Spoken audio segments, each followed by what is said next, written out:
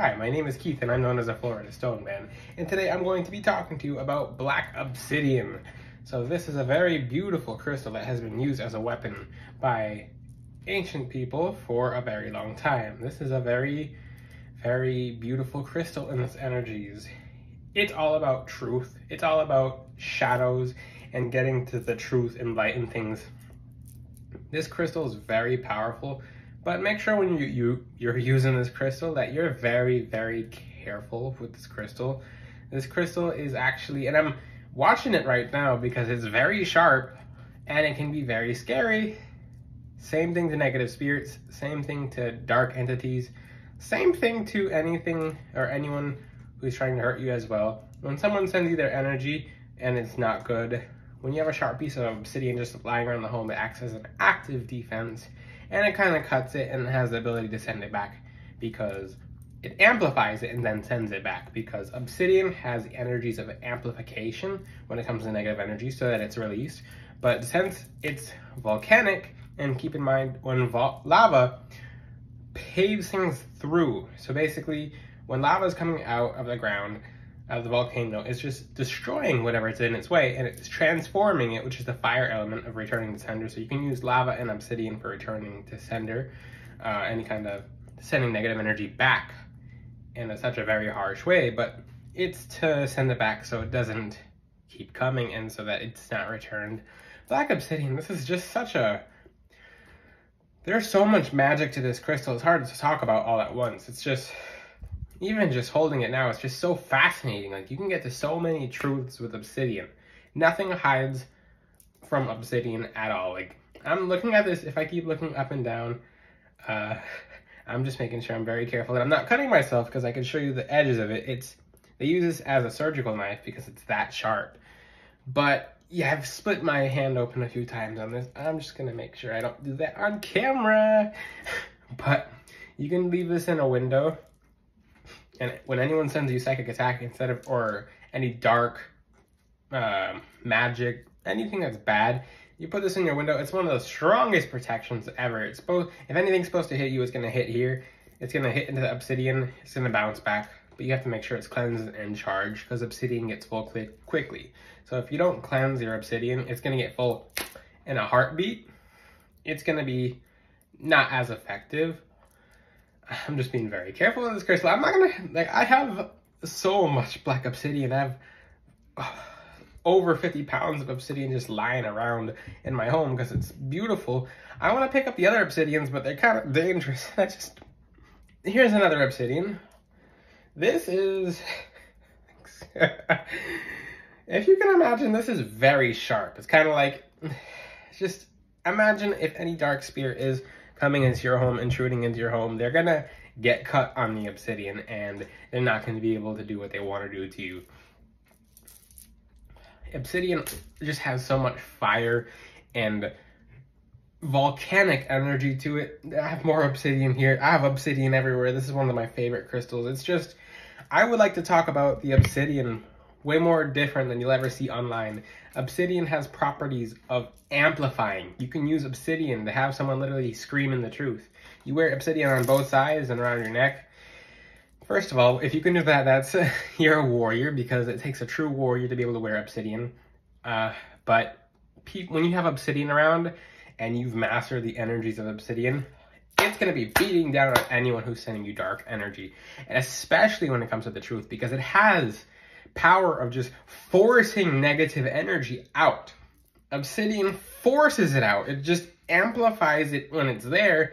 Kind of like if there's a thorn that's been in your foot for a very long time, it's gonna for it's gonna make that thorn hot. It's gonna make it like a bigger thorn just so it's easy to like pull out. It slides out easily. And it's not gonna be fun. So when you use black obsidian, this is what I don't I normally don't prescribe people black obsidian right off the bat I'll say something like black tourmaline or black uh, black black jetstone. If you get real black jet, is really rare. Uh, onyx, I, will make a whole nother video on that. I don't. I mean, you have to make sure you're in the right place when you get that. But we're talking about black obsidian. It does not compare to any other black crystal. Black tourmaline, it is all about sponging en energy that's supposed to hit you and getting anything inside of you out. Black Obsidian does that in a way, but it does it completely differently.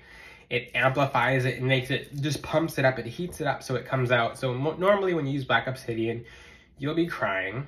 It gets everything out at once. It's just, no other crystal compares to what Black Obsidian can do. It can have people screaming and crying, just getting everything out. And it does the same when you're wearing it and people are trying to lie to you. If you wear Black Obsidian and you freshly cleanse it and freshly charge it, because Black Obsidian loves the sunlight. That's how you can cleanse and charge it, is by leaving it in the sunlight. If you don't cleanse and charge it, it's not going to be as, as, as powerful. It's not going to be anywhere as efficient. If you just carry it around and you've never cleansed and charged it, it will not do anything as it does when you leave it in the sunlight or leave it next to selenite. Selenite is a very slow, but the Black Obsidian will turn into a new crystal if you've never put it in the sunlight. It just, it, not physically, but spiritually, it'll do a hundred times more. It's literally, it, it's the most magical crystal ever. I remember uh, when I watched Game of Thrones way back then, they go, they called Black Obsidian Dragon Glass. I know why. It, it's just such a fiery energy to it. It's just, there's so much magic to Obsidian that we don't really know. Like, for example, if you have a dark attachment on you and you try to come home and the dark attachment tries to follow you, the obsidian will literally send the dark attachment the fire energies of a volcano. I've had this happen a very long time ago when I wore a black obsidian anklet. I walked through a doorway to my home uh, way back then, and something dark tried to follow me home. Does, it doesn't matter how, because when we're around people, sometimes things try to try to follow us home, especially if you go to clubs or bars or anything like that, which I used to way back then. But I walked through the door and I felt nothing but surging fire in my body and my and my leg just got really hot and then it felt like if you ever seen Fantastic Four, it just felt like flame on. I was in disbelief and, and then it just went away. And I was just like, what was that? I, I've never seen that before.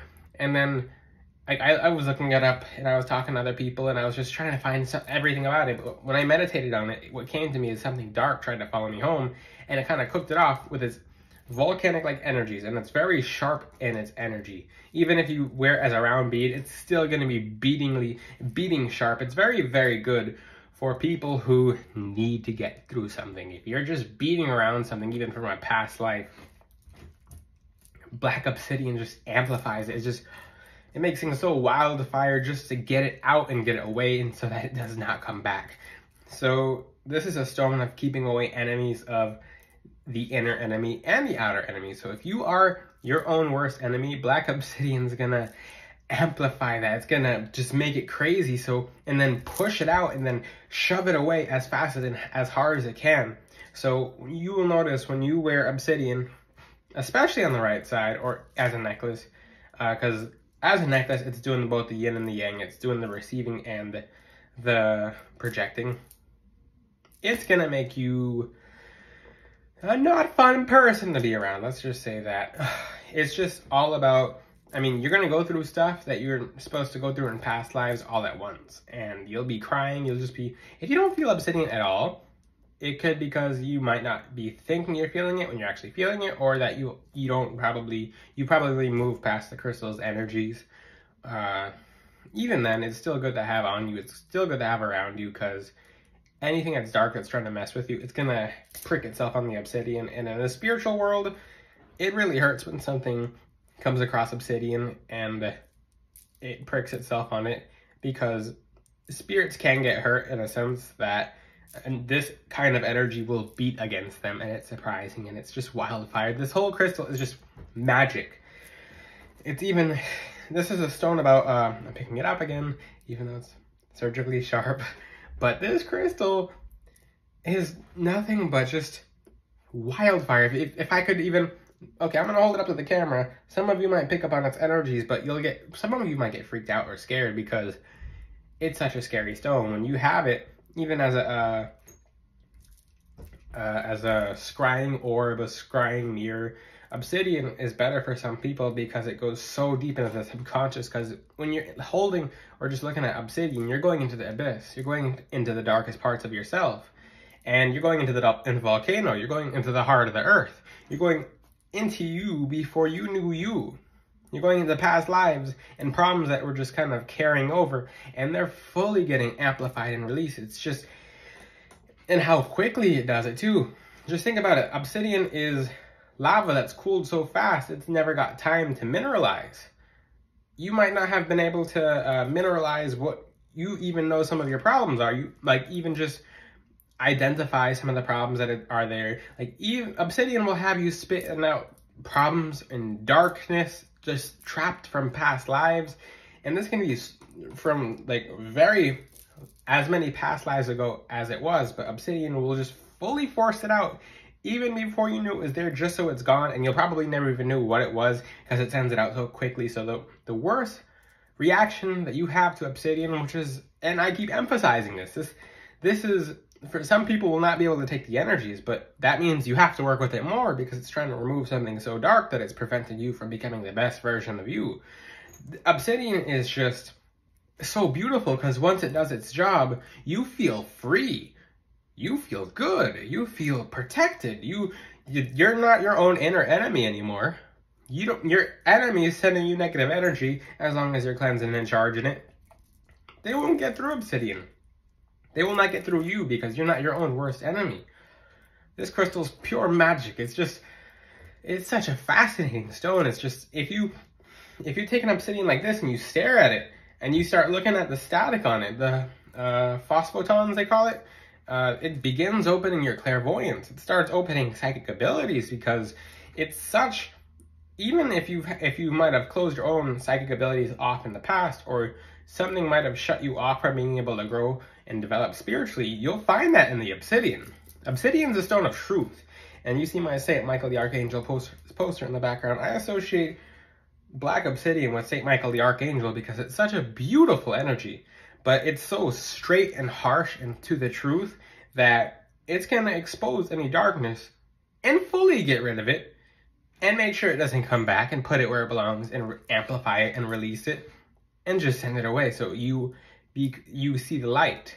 So Obsidian is just, I mean, from my experiences with, with working with Obsidian, it's been pure magic. It's just like nothing like, if I talk about any other crystal being as magical as anything else, it has to be Obsidian. It's just, the way it repels darkness is just, I've never seen something, uh, uh, there's no crystal like this that will amplify the darkness. It'll just pump the darkness out. Like, it'll like an exorcism almost. It's just, it's otherworldly. Like if you, especially if this obsidian, and if it makes you uncomfortable, if it makes you, uh, if you notice your obsidian stops working, you probably need to cleanse and charge it. You probably need to palo santo it, or uh, you can use rosemary, you can use cedar, you can use several different things to cleanse and charge it. The sunlight's the best way to cleanse and charge it. This crystal, it's just otherworldly. Once you see what it does in your life, it's actual magic. I didn't know there was anything else out there like this. But even, okay, if you if you have obsidian, you're like, oh, I haven't experienced any of that. Leave it in the sunlight for a day and then hold it and then put it over certain chakras. Like your, if you feel like you have a problem in your heart, put it over your heart and watch what happens. If you have a, if you feel like you have trouble communicating, put it over your throat. If you feel like your third eye is blocked, put it over your third eye. The craziest thing is if you feel like you're not stable, or that you can't ground, put it over your root chakra, put it on the lower side of your back, put it on your stomach and watch what comes out. Watch, you might just start crying right away. You might not feel it, but then you might act a little different for the next few days. It depends on your energy and depends on your gifts and where you're at. Maybe you don't feel it at all. Maybe you've already worked past the energies of obsidian, but this crystal is just magic. It's just, it's very good for making sure. And let's say you work with obsidian and you just completely feel like it stopped working for you, but when you continue to wear it, makes sure that you don't get oversensitive. It makes sure that you don't become your own worst enemy. It makes sure that you just, you feel good and you can take on any challenge and you can attack, tackle anything that's coming your way. But Obsidian, it's just, you have to work with the stone. This is not something I, I normally recommend to people right off the bat unless I feel like they need to get through a bunch of stuff all at once because it's, it's it can't you can't go around it.